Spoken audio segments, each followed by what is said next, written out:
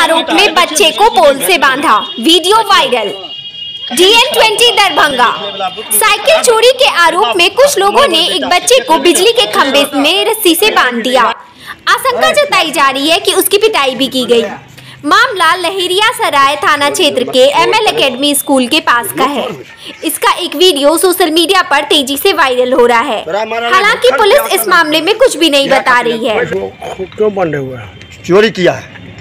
चोरी के हैं तो उसको बांधिएगा। हाँ बांधेंगे ना सर? बांधने का राइट है आपको। बांधेंगे ज़रूर बांधेंगे। और सर आएगा पुलिस आएगा पकड़ेगा अपने बात खत्म कह देंगे। सर चोरी किया मेरा साइकिल चोरी किया। नहीं नहीं बांधने का राइट है आपको। राइट की बात नहीं है सर। राइट है। बांधेंगे चोरी करेगा तो बांधे ज़रूर पकड़। क्या चीज़ का इल्ज़ाम में चोरी क्या है साइकिल चोरी में।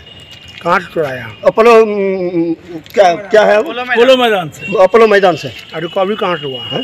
अभी यहाँ पकड़ा है जो जिसका साइकिल था वो पकड़ा।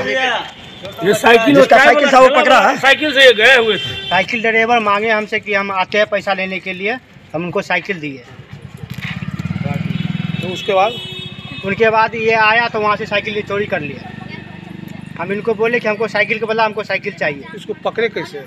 ये गुजर रहा था हम इसको पकड़ लिए घपसीना साइकिल देखे अपना कि मेरा साइकिल है ये चलो इसको पकड़ लिए। तमाम लेटेस्ट खबरों को सबसे पहले देखने के लिए सब्सक्राइब करें। Digital news twenty